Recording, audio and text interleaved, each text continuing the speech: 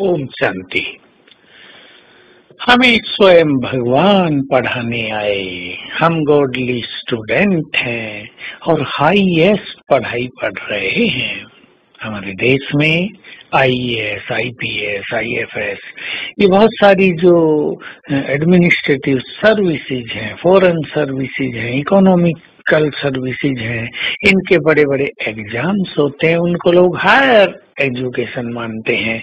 PhD की तो higher education MBA, MTech higher education IAS कर रहा है कोई व्यक्ति उसको कितना नशा रहता है मैं अब जाकर कलेक्टर बनूँगा।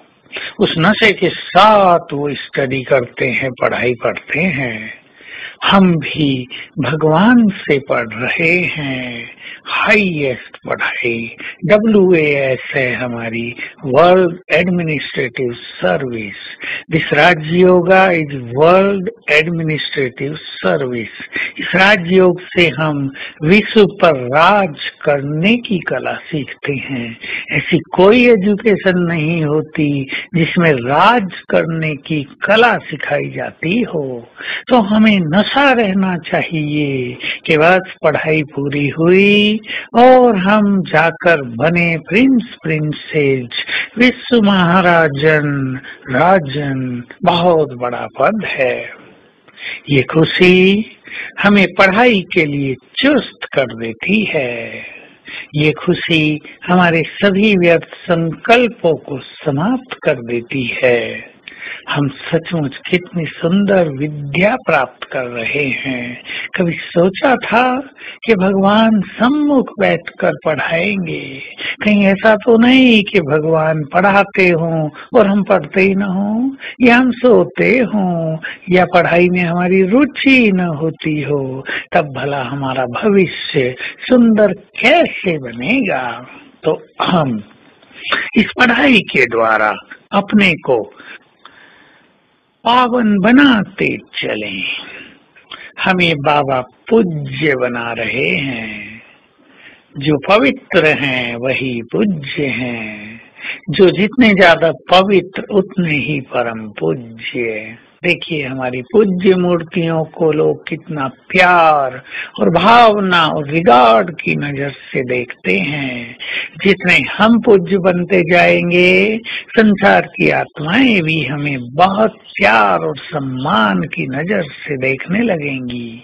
और ऐसी पूज्य आत्माओं को ही परमात्म प्यार प्राप्त होता है क्योंकि भगवान के लिए सबसे बड़ा आकर्षण, स्वच्छता और पवित्रता है। लोगों ने स्थूल में कह दिया cleanliness is next to godliness अर्थात, परमात्मा के बाद स्वच्छता का ही स्थान है। जहाँ स्वच्छता है, वहाँ भगवान है। परंतु ये स्वच्छता केवल बाहर की नहीं, बाहर की तो हम रखते ही हैं। ये स्वच्छता है मन की, ये स्वच्छता है बुद्धि की और इसका स्वरूप है पवित्रता। कोई भी विकार न रहे, विकारी संकल्प न रहे, विकारी भावनाएँ न रहे, हमारी पवित्र दृष्टि हो जाए, आत्मिक दृष्टि हो जाए, हमारे चित्त में पवित्रता के वाइब्रेशंस रहने लगे, हमारा चित्त शीतल हो जाए, कर्मेंद्रिया और अंग अंग शीतल हो जाए ऐसे पवित्र आत्माएँ ही संपूर्ण पूज्य बनती हैं। और देखिए, उनके द्वारा भक्ति में भी सबकी कितनी पालना होती रहती है। उनकी जड़ मूर्तियों के द्वारा मनोकामनाएँ पूर्ण होती रहती हैं। लोगों को शांति और सफलता मिलती रहती है। कई बिगड़े काम संवरते रहते हैं। कईयों के विघ्न नष्ट होते रहते हैं। ये सब पवित्रता का प्रभाव है, इसलिए अपनी प्योरिटी को बहुत महत्व देते हुए, परम पूज्य बनने का पूरा पुरुषार्थ करें। आज सारा दिन ये स्वमान रखेंगे। मैं परम पवित्र हूँ, परम पूज्य हूँ, और अपना पूज्य स्वरूप, चाहे अस्वजाधारी देवी हूँ, चाहे सबका पालन करता विष्णु हूँ, विघ्न विनाशक गणेश हूँ। ये अपना स्वरूप सामने लाएँगे घंटे में एक बार। इस फीलिंग के साथ मैं ये हूँ। ओम शांति।